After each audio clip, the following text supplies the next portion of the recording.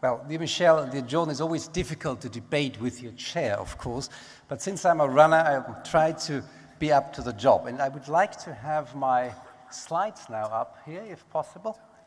I know you enjoy the break, but we are not quite there yet. First of all, these are my disclosures. Everything you've been hearing from Jordan, first of all, was right. There is no doubt about that. But um, I would like to really clarify the situation we're talking about. And we're talking about surgery in curative intent with adjuvant treatment. I'm not talking about borderline resectable tumors or locally advanced disease because I think we shouldn't muddy the waters. So, adjuvant treatment is still standard after resection, and the standard is indeed getting better, as you see here. In combination chemotherapy, these are the data from the ESPAC-4 trial. Gemcitabine plus uh, capecitabine did improve the outcome, and we're now at 28 months in median overall survival. And when you remember the figures you've been just seeing from Jordan in the neoadjuvant trials, and I will show you some examples as well, do remember whether you see anything beyond 30 months. And the five-year overall survival, and this is actually, from my point of view, even the more important figure, also improved to now 29%. And this is something we still have to prove in the neoadjuvant setting. This might get even better. This is just published trial with S1 from the Japanese group. Or unfortunately, we only have data now from the Jap uh, from the Asian po uh, population, not from a Western population. But here you have a fantastic five-year overall survival rate of 44%, which is really tremendous. Of course, these data have to be reproduced in a Caucasian population to really assess the value for our patients.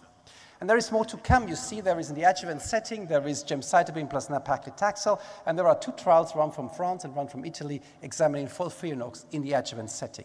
So the adjuvant setting is something we still must not forget.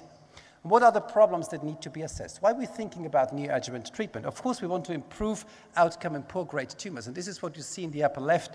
Grading is important for prognosis. We want to improve the outcome in stage three, which is still pretty bad, and this is the majority of patients we resect.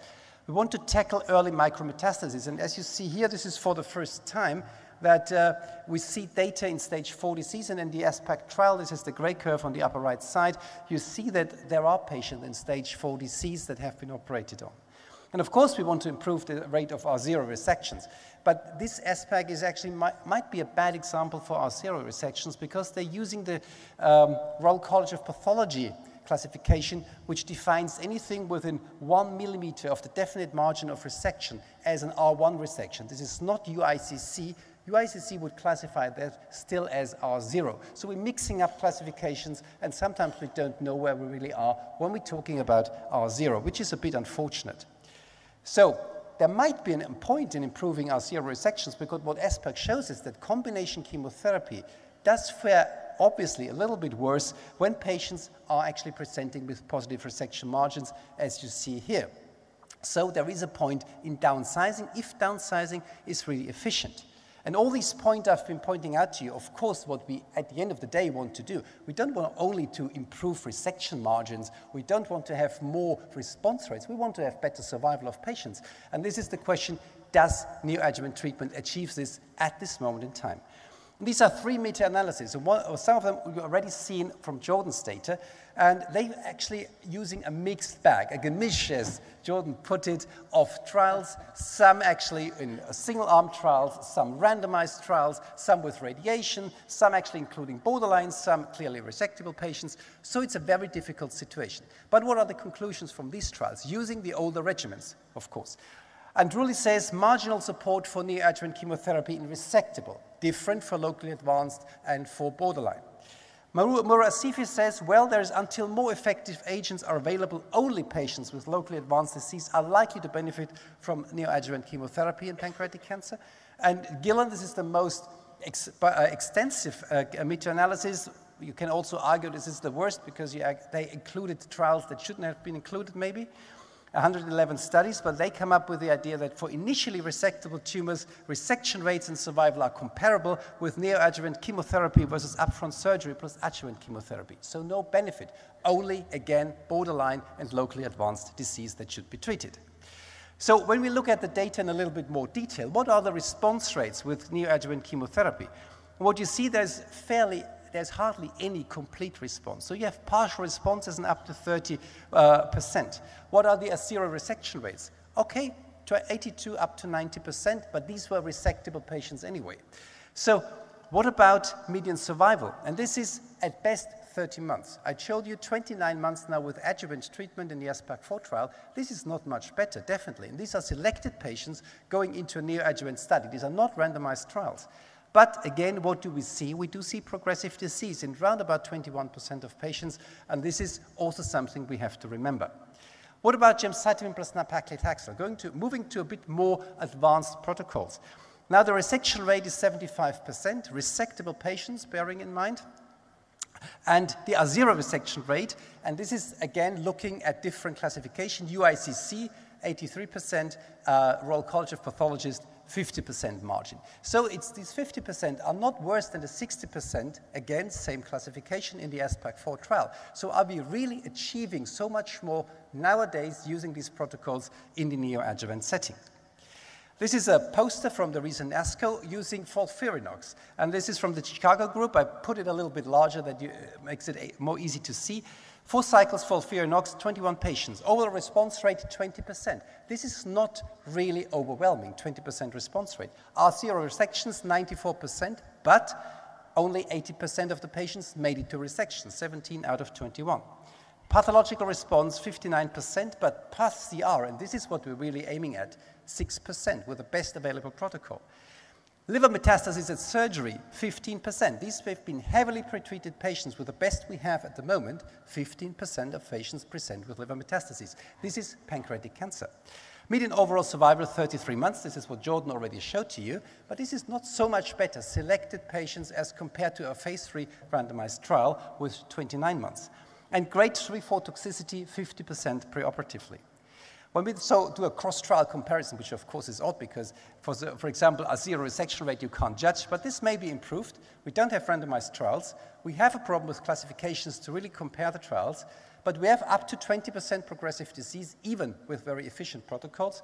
And median overall survival goes up to 33 months, but this is phase 1 2 as compared to phase 3 of 29 months. Uh, do we really do better with neoadjuvant treatment? And the question is, and this has been already raised by Jordan, up to 20% of patients have progressed during neoadjuvant treatment, and this might be a window of opportunity to learn the tumor biology, but this might also a miss of a potential chance of cure, bearing in mind that not only there is local progress, but there are also distant metastases. There's also a prerequisite for neoadjuvant treatment, and you need tissue. No meat, no treat. And the meta-analysis suggests to you that this is actually perfectly well organized and uh, endoscopic ultrasound-based biopsies do fare really well with respect to diagnosis. This is a sensitivity and specificity in ROC curve, which is fantastic. Reality is, and this is from our own trial in neoadjuvant setting, in up to 25% of cases, even highly specialized centers fail to get material which we would need to actually start chemotherapy, neither for histology nor for cytology.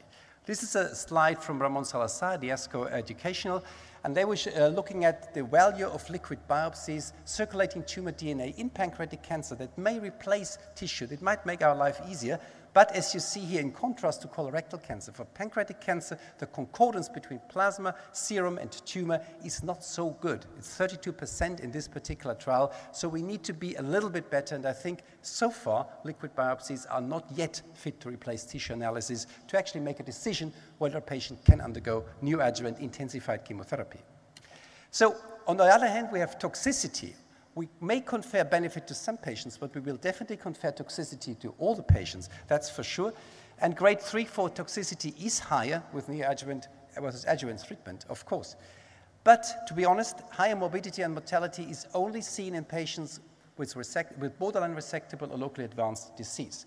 Of course, more intense protocols like FOLFIRINOX have higher toxicity. I've shown it a 50% in the Chicago trial in grade 3 4 toxicity, but I think toxicity is manageable. So this is not an issue that will prevent us from doing that. So, there, but there are uncertainties, and already it's been pointed out by Jordan, I think they are relevant. Which regimen to choose? FOLFIRINOX, GEM plus Abraxane, other. For how long? Two, three, four cycles, more cycles. Is the postoperative treatment needed at all? And which tumor type benefits. And you've seen uh, before the very nice subtyping we have now, the squamous, the ADEX, the progenitor, the immunogenic. Which of these subtypes benefits and which doesn't? And we need to find that out.